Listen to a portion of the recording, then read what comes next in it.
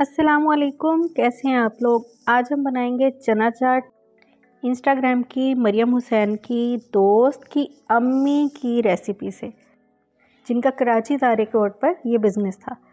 लेकिन रेसिपी होगी मेरे स्टाइल में। तो चलिए शुरू करते हैं।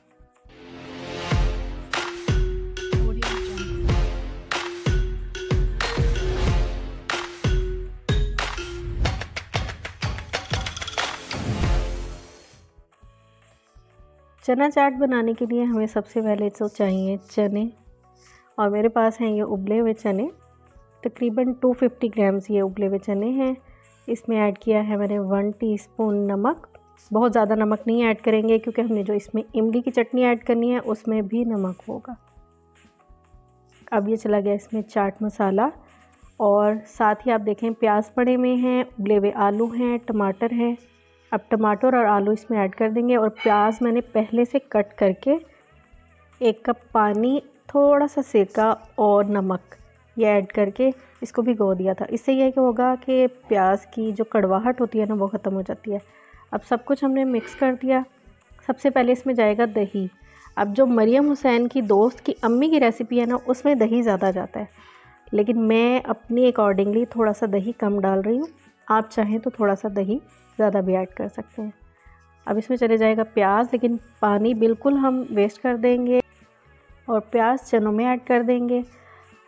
मिक्स करेंगे अच्छा सा। मिक्स करने के बाद हम इस पर अब डेकोरेशन शुरू कर देंगे। पापड़ी आप चाहें तो मार्केट वाली भी यूज़ कर सकते हैं, जो आपको बनी बनाई मिल जाएगी। लेकिन ये मेरे पास होममेड है और होममेड पापड़ी का मैं आपको तरीका बता चुकी हूँ रेसिपी और लिंक आपको चैनल पे मिल जाएगा। पापड़ी ऐड करेंगे और पापड़ी हम बीच में मिक्स नहीं करेंगे, ताकि वो थोड़ी क्रिस्पी क्रिस्पी रहेगी ना ऊपर ही तो मज़े की लगेगी। अब पापड़ी ऐड कर दी। अब इस पर ऐड करेंगे धनिया और पुदीना की चटनी।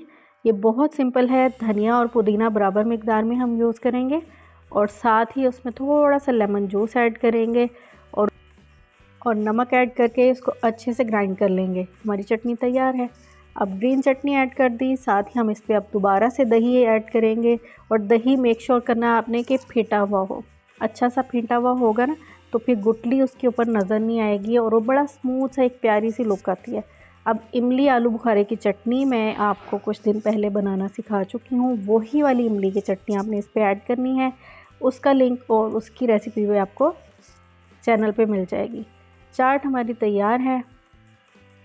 इफ्तार में बनाएँ या टी टाइम में बनाएँ आई एम श्योर आप लोगों को ये बहुत अच्छी लगेगी। आम चना चाट से ये बिल्कुल डिफरेंट है। अब आप वीडियो को लाइक करें चैनल को सब्सक्राइब करें और हम करते हैं। मज़े का। अपना ख्याल रखिएगा दुआओं में याद रखिएगा। फिर मिलेंगे। अल्लाह हाफिज़।